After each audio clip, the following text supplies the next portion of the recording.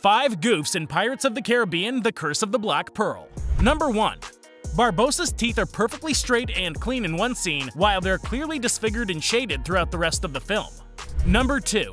Will is clean shaven in the governor's mansion, but in his next scene, he has a nicely trimmed goatee and full mustache. Number 3.